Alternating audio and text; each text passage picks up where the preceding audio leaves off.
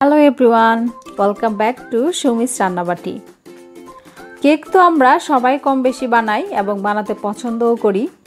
তবে আজকে আপনাদের জন্য নিয়ে এসেছি একটু ভিন্ন স্বাদের কেকের রেসিপি আর সেটি হলো বানানা চকলেট কেক টেস্ট এবং ফ্লেভারে এটি অন্য কেকের থেকে একটু আলাদা।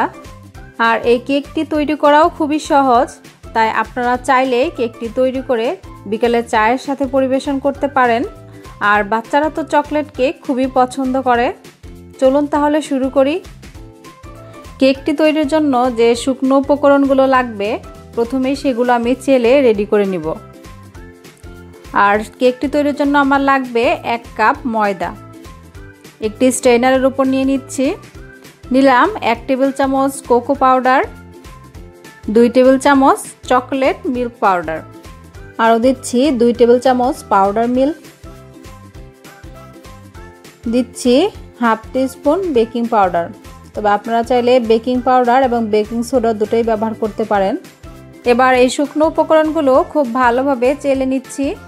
এতে করে এর মধ্যে যদি কোনো শক্ত উপকরণ থাকে, সেগুলো আলাদা হয়ে যাবে এবং এগুলো ফেলে দিতে হবে। এতে করে কেকটা খুবই স্মুথ হবে। আমি এখানে নিয়েছি দুইটি ছোট সাইজের বানানা ম্যাশ করে নিয়েছি। আর বানানাটা কিন্তু খুব বেশি ম্যাশ আমি করিনি। দেখুন, দেখে কিন্তু বোঝা যাচ্ছে। এবার কেকের ব্যাটারটা তৈরি করার জন্য নিয়ে নিচ্ছি তিনটি ডিম। আর চেষ্টা করবেন রুম টেম্পারেচারে থাকার ডিমগুলোই ব্যবহার করার জন্য, আমিও সেটাই করেছি। তাই কেক তৈরির কমপক্ষে এক ঘণ্টা আগে ফ্রিজ থেকে ডিমগুলো বের করে রাখবেন, এতে করে ডিমগুলো রুম টেম্পারেচারে চলে আসবে। এবার ডিমের যে কুসুমগুলো, এগুলো আমি আলাদা করে নিলাম।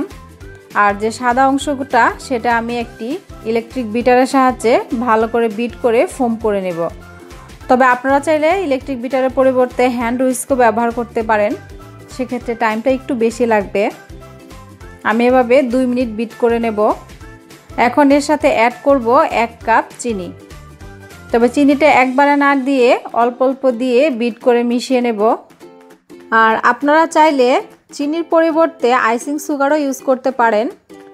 আর এভাবেই অল্প অল্প আমি চিনি দিচ্ছি আর মিক্সড করে নিচ্ছি। এতে করে চিনিটা খুবই স্মুথলি মিক্সড হয়ে যাবে সম্পূর্ণ উপকরণের সাথে। চিনিটা মিক্সড করা হয়ে গেলে এখন এর সাথে অ্যাড করছি যে ডিমের কুসুমগুলো আলাদা করে নিয়েছিলাম, সেই কুসুমটাও। দিয়ে দিচ্ছি এক চা চামচ ভ্যানিলা এসেন্স এবং দিয়ে দিচ্ছি ম্যাশ বানানাটাও। এবার আমি আবারও এক মিনিট মিক্স করে নেব উপকরণ দুটো। আর কোনো উপকরণে কিন্তু খুব বেশি সময় ধরে বিট করবেন না, তাহলে কিন্তু কেকটা ফুলবে না। আর এখন মিক্সড করে নেব শুকনো উপকরণগুলো। আর এগুলো আমি একটা চামচের সাহায্যেই মিক্সড করে নিচ্ছি। এ পর্যায়ে আমি আর কোনো বিটার ইউজ করছি না। আমি অল্প অল্প শুকনো উপকরণ দিয়ে দিব আর মিক্সড করে নেব। একবারে সম্পূর্ণ উপকরণ দিলে দলা পাকিয়ে যেতে পারে, এজন্য অল্প অল্প দিয়েই মিক্সড করে নেওয়া ভালো। আর এই কেকটি আমার বাসার সবাই অনেক বেশি পছন্দ করে। আর আমার বাচ্চাটাও খুব বেশি পছন্দ করে কেকটা। আর যখন এই কেকটা তৈরি করি, সে একদম পাগল হয়ে যায়, কখন হবে কখন হবে? আমিও একটু বানাবো, এরকম করতে থাকে। আজকেও তার ব্যতিক্রম হয়নি। আমি যখন বানাচ্ছিলাম, তখন সেও আমার সাথে সাথে এসে অনেক নাড়াচাড়া করেছে। আপনারা দেখে নিশ্চয়ই বুঝতে পারছেন। আর এভাবেই অল্প অল্প শুকনো উপকরণগুলো আমি খুব ভালোভাবে মিক্স করে নিয়েছি। এখন এর সাথে অ্যাড করছি ওয়ান ফোর্থ কাপ তেল। তবে আপনারা চাইলে বাটারও ইউজ করতে পারেন। দিয়ে দিচ্ছি তিন টেবিল চামচ লিকুইড মিল্ক এতে করে কেকটা অনেক বেশি সফট হবে এবং দিয়ে দিচ্ছি এক টেবিল চামচ ঘি। এই ঘিটা দেওয়ার কারণে কেকটার ফ্লেভার খুবই চমৎকার হয়। আপনারা একবার দিয়ে ট্রাই করে দেখতে পারেন। এবার আবারও ভালো করে মিক্সড করে নিচ্ছি।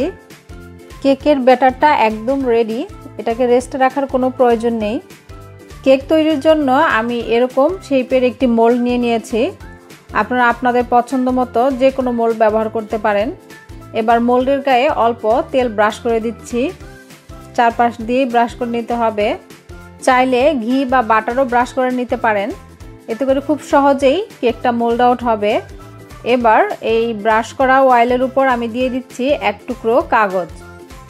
আর আপনারা চাইলে কিন্তু বাটার পেপার ইউজ করতে পারেন। আমি এখানে নর্মাল কাগজ ইউজ করেছি। এবার এই কাগজটার উপরে আমি আবারও একটু অয়েল ব্রাশ করে দিলাম। এবার রেডি করে রাখা কেক ব্যাটারটা ঢেলে দিচ্ছি মোল্ডে তবে সম্পূর্ণ ফিল না করে অর্ধেকটা খালি করে নিচ্ছি আর বাকি অর্ধেকটা ফিল আপ করে দিচ্ছি। এতে করে কেকটা সুন্দরভাবে ফোলার সুযোগ পাবে। আর বাকি যে ব্যাটারটা থেকে যাবে, এগুলো দিয়ে আমি ছোট ছোট কিছু কাপ কেক তৈরি করব। আপনারাও সেটি করতে পারেন। এবার এভাবে কয়েকবার ট্যাপ করে নেব। ট্যাপ করা হয়ে গেলে এরকম একটি কাঠির সাহায্যে আমি এরকম করে একটু রাউন্ড করে দিচ্ছি। এতে করে ভেতরে যদি কোনো বাবল থাকে, সেটা বের হয়ে যাবে। এবার উপর থেকে ছড়িয়ে দিচ্ছি কিছু ড্রাই ফ্রুটস আমি এখানে দিয়েছি টুকরো করে কাটা খেজুর। দিয়েছি কিছু বাদাম কুচি। আপনারা আপনাদের পছন্দ অনুযায়ী যে কোনো ড্রাই ফ্রুটস ইউজ করতে পারেন। আমি আরও দিয়েছিলাম কিছু চকলেট চিপসও কেকটি আপনারা চুলায় বা ওভেনে দুইভাবে বেক করতে পারবেন। আর চুলায় বেক করার নিয়মটা আমি দেখিয়ে দিচ্ছি। এরকম একটা হাঁড়ির মধ্যে স্ট্যান্ড বসিয়ে প্রথমে আপনারা হাঁড়িটি 10 মিনিট প্রিহিট করে নেবেন। এরপর যখন এটা প্রিহিট হয়ে যাবে, খুব সাবধানে কেকের মোলটি বসিয়ে দিতে হবে। আর ওভেনে বেক করার ক্ষেত্রে ওভেনটি প্রথমে 10 মিনিট প্রিহিট করে নেবেন। এরপর one sixty five degree Celsius তাপমাত্রায় 30 থেকে 35 মিনিট বেক করে নিলেই হয়ে যাবে। আর চুলার ক্ষেত্রে মোলটা বসানোর পর একটি ঢাকনা দিয়ে দিবেন। এরপরে যে ছিদ্রিটা, সেটাও সিল করে দিতে হবে। এরপর চল্লিশ থেকে ৪৫ মিনিট বেক করে নেবেন, একদম লো হিটে। তবে সময়টা কম বেশি লাগতে পারে। আমার কেকটি বেক করতে সময় লেগেছে ফিফটি মিনিট। আমি কেকটি চুলা থেকে নামিয়ে নিয়েছি। তবে আপনারা চুলা থেকে নামানোর আগে অবশ্যই এরকম একটি কাঠির সাহায্যে দেখে নেবেন যে কাঠিটি ক্লিন বের হচ্ছে কিনা। আমারটা একদম ক্লিন বের হয়েছিল, এজন্য আমি চুলা থেকে কেকটি নামিয়ে নিয়েছি এবং কেকটি পারফেক্টলি ডান হয়েছে। এবার একটি ছুরির সাহায্যে আমি কেকটা মোল্ড থেকে একটু ছাড়িয়ে নিচ্ছি। এতে করে কেকটা খুব সহজে মোল্ড আউট করা যাবে। এবার কেকটা আমি একটা প্লেটের উপর ঢেলে নিচ্ছি। এবার কেকের পেছনের কাগজটা আমি তুলে নিচ্ছি। আর দেখিয়ে দিচ্ছি যে কেকের পেছনটাও দেখুন, কতটা সুন্দরভাবে কুক হয়েছে। একটুও কিন্তু পুড়ে যায়নি। আমার রেসিপিটি ফলো করে যদি আপনারা এই কেকটি তৈরি করেন, আশা করছি আপনাদের কেকটিও একদম পারফেক্টলি ডান হবে। আর আমার যে ব্যাটারটা রয়ে গিয়েছিল, সেটি দিয়ে আমি এরকম কয়েকটি কাপ কেক তৈরি করে নিয়েছি। আপনারাও চাইলে খুব ইজিলি এটিও তৈরি করে নিতে পারেন একই পদ্ধতিতে। এবার কেকটা আমি কেটে দেখাচ্ছি যে এর ভেতরটা কতটা সফট হয়েছে। আর আপনারা যখন কেকটি খাবেন, তখন এই উপরের বাদাম কুচিগুলো কিন্তু খুবই ভালো লাগে খেতে। দেখুন কতটা সফট হয়েছে। এটা কিন্তু খুব ইজিলি আমি ফুল করতে পারছি। আমার আজকের রেসিপিটি ভালো লাগলে আপনারা বাসায় এভাবে ট্রাই করবেন। আশা করি বাসার ছোট বড় সকলের কাছে প্রশংসিত হবেন।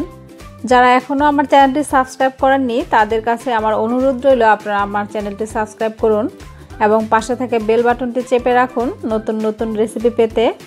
আজ তাহলে বিদায় নিচ্ছি। সবাই অনেক অনেক ভালো থাকুন। আল্লাহ হাফেজ।